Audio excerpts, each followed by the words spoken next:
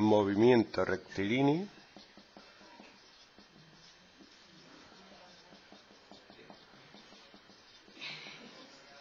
uniformemente acelerado.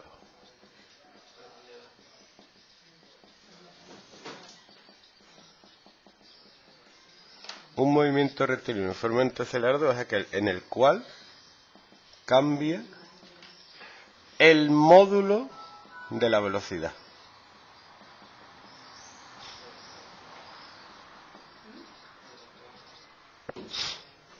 La aceleración es la velocidad final menos la inicial partido el tiempo final menos el tiempo inicial. Un ejemplo. Un coche pasa de 0 a 72 kilómetros hora en 10 segundos. ¿Cuál es su aceleración? Una de las características que ponen en los coches cuando los venden es de 0 a 100. Pasa de 0 a 100 en tantos segundos. Por lo visto, un coche es mejor cuanto más corre. Aunque hay un límite de velocidad, pero no importa. Caso es correr más. Entonces, yo tengo una velocidad inicial que son 0 metros por segundo, por supuesto, yo siempre trabajo en el sistema internacional, 72 kilómetros hora, son 20 metros por segundo. Cuando yo pongo el cronómetro, voy a poner que son 0 segundos. Cuando termina el movimiento, son 10 segundos. Bueno, termina el movimiento. El coche seguirá hasta el infinito y más allá. Si no lo para. La aceleración es 20 menos 0 partido 10 menos 0. 2 metros partido segundo al cuadrado.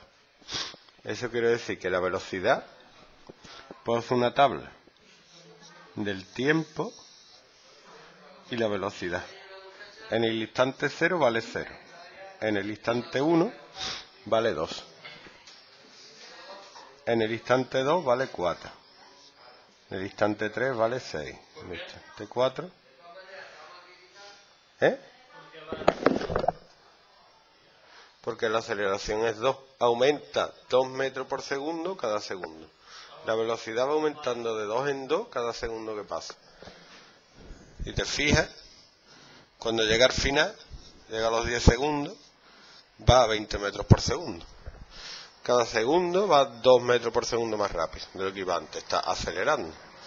Cuando acelera, la velocidad es positiva. Y cuando frena es negativa. ¿Por qué? Pues si yo cojo un coche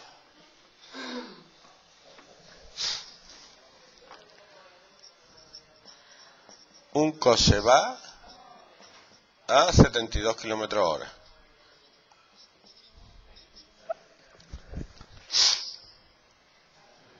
Frena y tarda 10 segundos en parar. ¿Cuál es su aceleración?